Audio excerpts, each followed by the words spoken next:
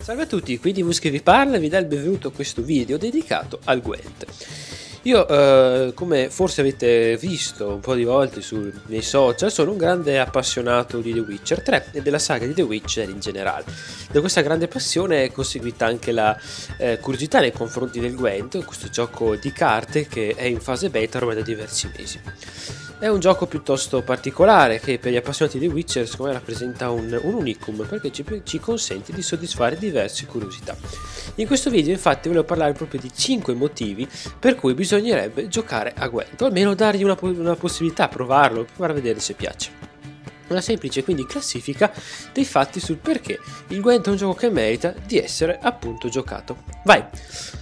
Primo motivo, uh, è un gioco che aguzza la mente. Nel senso, è un gioco di carte con diverse strategie, è un gioco che quindi richiede diversa eh, concentrazione perché eh, bisogna ovviamente avere un minimo di eh, strategia nel programmare le mosse, nel creare i mazzi e quando si gioca nello sfruttare le interazioni tra le varie carte. Infatti è un gioco che premia molto le sinergie tra le varie carte, che premia degli effetti che si combinano appunto tra le varie carte, detto in maniera molto semplice. Ovviamente se vi approcciate al gioco gioco, poi queste cose le scoprirete nel dettaglio. Però diciamo che è proprio così, Terra Terra è un gioco che premia eh, la costruzione quindi di una strategia, la sua applicazione, saper rispondere alle mosse dell'avversario, in qualche modo addirittura prevederle. Un gioco quindi che aguzza la mente perché ci obbliga a riflettere, a pensare e non essere solo passivi di fronte a quello che abbiamo nello schermo. Secondo motivo, direi un motivo assolutamente fondamentale, è gratuito. Il Gwent infatti è un gioco gratis, è ancora in fase beta ma anche quando uscirà dalla fase beta rimarrà assolutamente gratuito. Uscirà una campagna single player chiamata Thronebreaker che quella sarà a pagamento ma se uno non è intenzionato a giocare la campagna potrà tranquillamente giocare il comparto multiplayer sia le partite libere che le classificate, le ranked, senza versare un euro. Ovviamente c'è possibilità di eh, shoppare qualche eh, forziere di carte con i soldi veri, ma non è assolutamente obbligatorio, nel senso i forzieri da cui escono le carte, da cui possono uscire varie carte che ci servono, o se no quelle che non ci servono possono essere scartate, vengono ottenuti completando partite in game, quindi non sono assolutamente obbligatorie le shoppate. Quindi titolo gratis, ragio- maggior ragione per dargli una possibilità.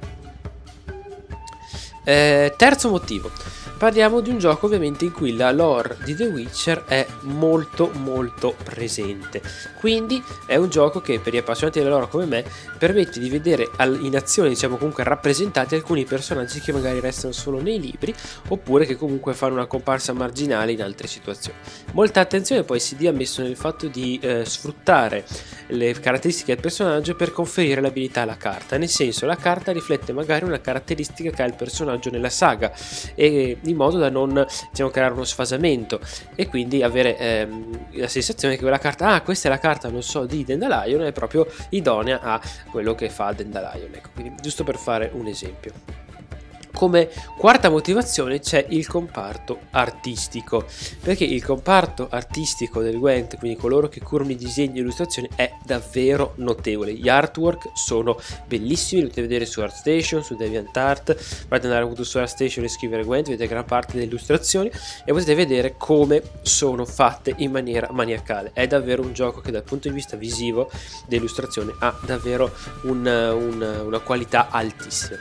Quinto e ultimo motivo è un gioco che spinge verso la creatività, nel senso è ovviamente eh, un gioco di carte, quindi c'è una creatività eh, limitata, ma nel creare i mazzi è necessario eh, metterci una buona dose di testa propria. Ovviamente molti si ispirano alle liste più forti che vengono condivise dai giocatori più bravi.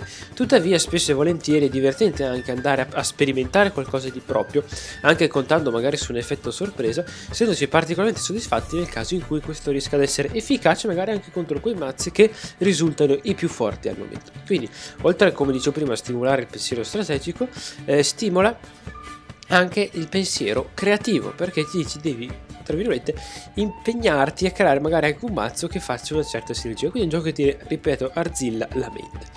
Queste sono le 5 ragioni per cui bisognerebbe dare una chance al Gwent. Ovviamente se eh, siete assolutamente...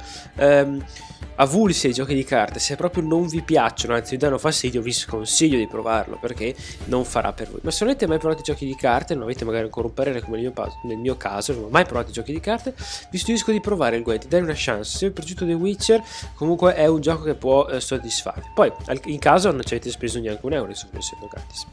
Spero che questo video vi sia piaciuto. Fatevi sapere se proverete il Gwent, che vi ricordo è disponibile per Xbox One, PlayStation 4 e PC. PC sia GOG, che è la piattaforma diciamo di CD Projekt, sia attraverso eh, Microsoft. Fatemi sapere appunto se deciderete, se deciderete di dare una chance a questo gioco di carte e ci vediamo al prossimo video sempre qui sul canale. Ciao a tutti!